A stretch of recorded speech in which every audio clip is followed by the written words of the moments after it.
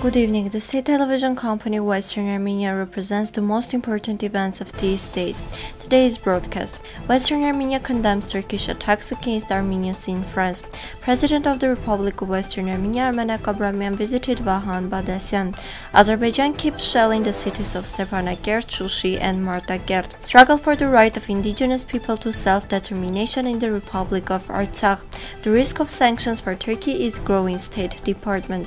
Research on Armenian Architecture Foundation comes up with a new initiative, Sights of Western Armenia.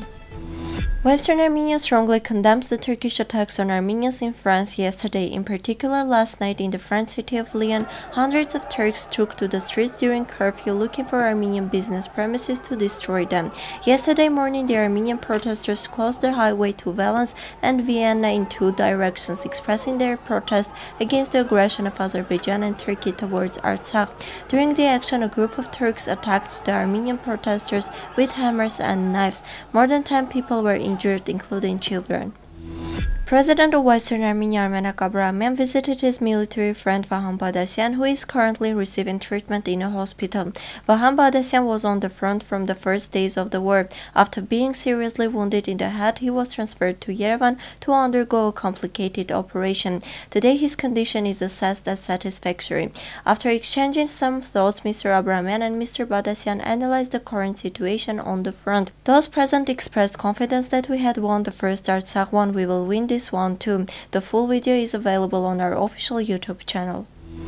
The Azerbaijani forces are using smart volley fire systems to attack the cities of Stepanakert, Shushi, and Martakert, Artsakh Defense Army reports. Azerbaijan has once again violated international human and customary law by targeting peaceful settlements. There are casualties among civilians. The political and military leadership of Azerbaijan is carrying out yet another war crime. The full responsibility of any further increase in tensions must be borne by the criminal leaders of Azerbaijan, the Defense Army mentioned mentioned.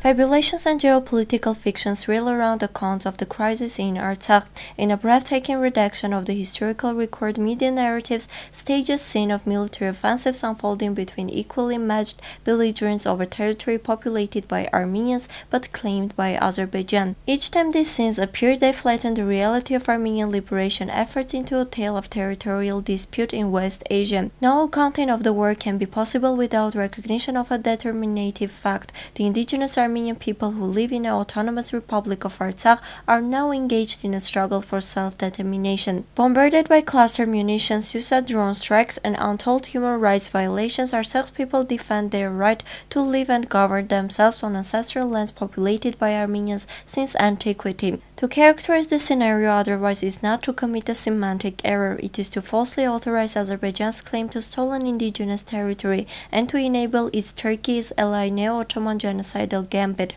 On October 23, Genocide Watch issued a state of emergency in Artsakh, classifying Azerbaijan's actions as stages 9 and 10 in a 10-step rubric of genocidal development. Stage 9 and 10 correspond to extermination and denial, respectively. You can read the full article on our website. The risk of U.S. sanctions against Turkey due to the acquisition from Russia of the S-400 anti-aircraft missile systems is increasing. Clarke Cooper, Assistant Secretary of State of Political Military Affairs, stated this during a briefing. As for the CAATSA sanctions, the risk of their application has never disappeared. What we see by now for the period between last and this year is an increasing risk. Thus, commented on the prospects for the U.S. to use measures against Turkey for the purchase of the S-400. Cooper stressed that the sanctions risk risk that Turkey is exposing itself is quite real. With regard to sanctions a year ago, the intention was to withdraw Turkey from the threat of sanctions against it. This brings us back to today. The mentioned risk is very real. Sanctions are one of the real options for action, he added.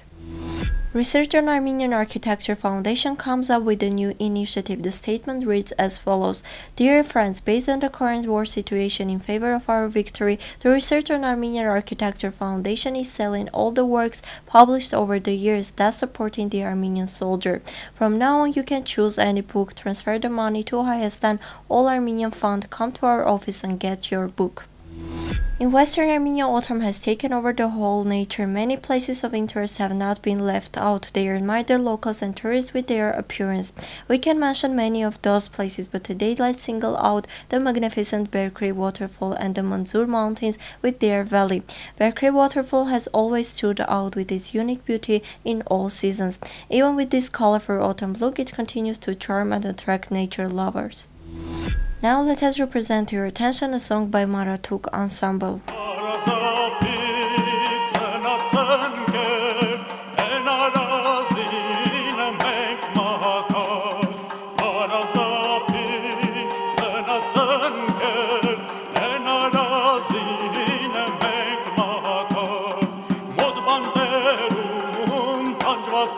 You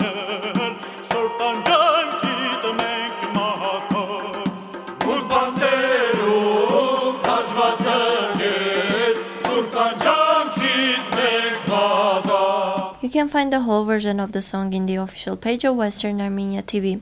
This was all for today. Goodbye.